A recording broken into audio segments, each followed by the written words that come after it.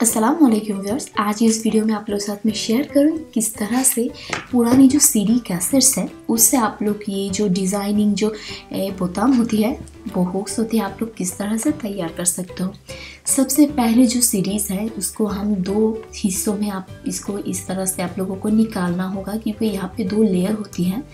तो थोड़ा सावधानी के साथ आप लोगों को इसको निकालना होगा, जो सिल्वर कलर का पार्ट है, वो आप लोग ट्यूटोरियल में और एक ट्यूटोरियल मैंने दिखाया है किस तरह से आप लोग मिरर तैयार कर सकते हो, वो कर सकते हो।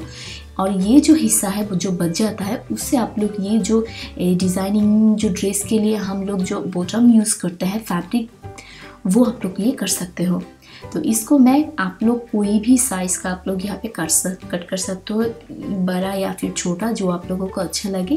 कटिंग करने के बाद आयरन से जो कोने निकलते हैं, उस जो साइड है, उसको आप लोग इस तरह से आयरन करके उसको फ्लैट कर लो। थोड़ा सावधानी से, ये बहुत ही गर्म है तो थोड़ा सावधानी से आप लोग टाइम लेकर इसको राउंड सा एक शेप दो। इसी तरह से मैंने बहुत सारी बना लिया है, और यहाँ पे जो फैब्रिक्स हैं, यहाँ पे जो फैब्रिक्स मैं ले रही हूँ, बहुत ही सॉफ्ट और बहुत ही ट्रांसपेरेंट है ये। तो इससे होता है कि अगर हम लोग इस इस तरह से हम लोग अगर करते हैं तो होता है क्या, बहुत ही दिखने में अच्छा नहीं लगता है, क्योंकि मैं यहाँ पे चाहती हूँ कि थोड़ा वॉल्यूम हो। इसलिए यहाँ पे क्या करूँगी छोटे छोटे करके यहाँ पे मैं पीस काट लूँगी इस तरह से। जो मेरी बोताम का जो साइज़ है, उसके हिसाब से लेकर यहाँ पे डबल लेयर में दूँगी। लेयर देने के बाद यहाँ पे मैं इसको घुमा के टाइट कर लूँगी।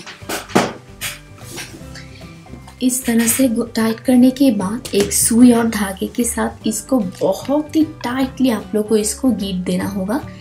यहाँ पे इस तरह से ब्लॉक करके राउंड राउंड घुमाकर इस धागे को यहाँ पे आप लोग इसको सिक्योर कर लो। इस तरह से आप लोग कोई भी डिज़ाइन आप लोग कर सकते हो।